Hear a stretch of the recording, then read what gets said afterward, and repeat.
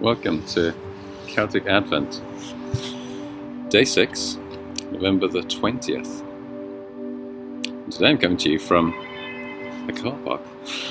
this is a bit of an experiment, not one I'm planning to repeat too often, but it's interesting. Um, there's a busyness to the season, and there's a busyness in our lives right now. We're moving our daughter from the house that she's lived in for quite some time to another house. Wow, it really is busy. And um, they're shopping in IKEA, and while they're shopping in IKEA, I'm in the car park. So it's it's fascinating to me to be here and to do this amidst all the mayhem of life, actually. Today we're reflecting once again on the Spirit of God, the Holy Spirit, who is the creator of all things. Yesterday we focused on the fact that he was hovering over the waters at the beginning of time. So we're going to use the same scripture we used yesterday, and it's true for today as well. We're going to just look at a, a flip on exactly the same thought we had yesterday, but we're, we're switching it around a little bit today. So Genesis 1 begins, this is a slightly different translation. In the beginning, God created everything, the heavens above and the earth below. Here's what happened. At first, the earth lacked shape and was totally empty, and a dark fog draped over the deep, while God's spirit wind hovered over the surface of the empty waters. Then there was the voice of God let there be light.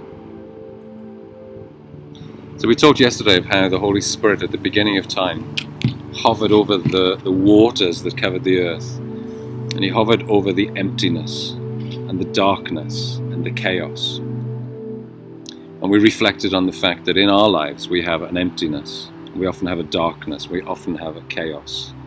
And in the emptiness we need fullness. And in the darkness we need light. And in the chaos we need order. And so we were leaning into God yesterday for what He might do for us. But what God does is that He uses humans, just like us, to impact the world around us as well.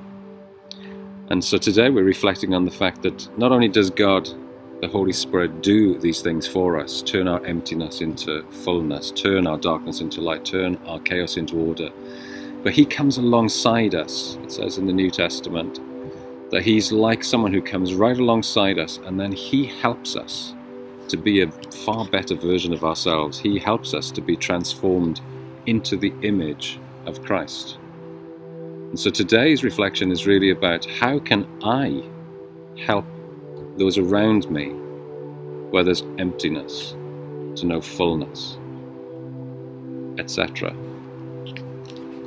So let's just take a little time out for a moment. And as I say, I love the fact that I'm surrounded by the mayhem of the shopping car park here. Just think about the lives around you and the world around you. And just ponder for a moment. Where are you aware that there's emptiness that so needs filling up?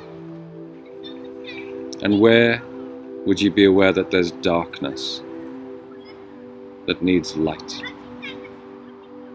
And where would you be aware that there's chaos that needs to be brought into order?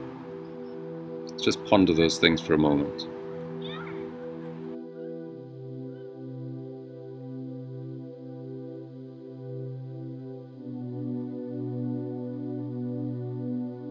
Let's just take it a step further and dwell on the fact that God wants to work through us so just dwell on the fact that He invites you to work alongside the work that He's doing to change the earth, to change someone's life. Who is it that He wants you to reach out to? Just dwell on that for a moment.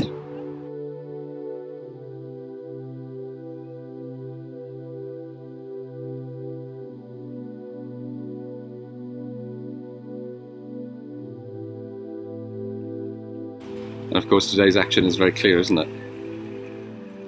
To actually go and make a difference. So, just as we're pondering the action of who you might actually go to and get alongside what God's doing in their lives, bring them fullness, bring them light, bring them a sense of order. And let me read this poem written by a 9th century monk. Veni Creator Spiritus is the English translation and a shortened version of it. Come, Holy Ghost, create a blast, and in our hearts take up thy rest. Come with thy grace and heavenly aid to fill the hearts which thou hast made. O Comforter, to thee we cry, thou heavenly gift of God Most High, thou fount of life and fire of love, and sweet anointing from above. O finger of the hand divine, the sevenfold gifts of grace are thine, true promise of the Father thou, who dost the tongue with power endow. Thy light to every sense impart, and shed thy love in every heart thine own unfailing might supply to strengthen our infirmity. Praise be the Father, and the Son, and Holy Spirit with them one, and may the Son on us bestow the gifts that from the Spirit flow. Just a short prayer.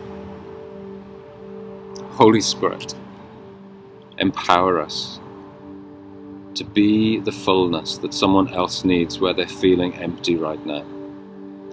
Empower us to be the light that someone needs and they're feeling like they're in darkness right now.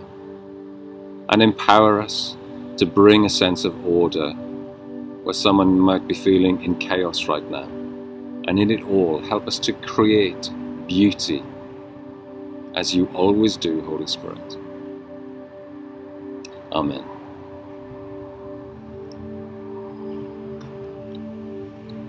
That's all for today. See you tomorrow. Probably not from a car park. Bye now.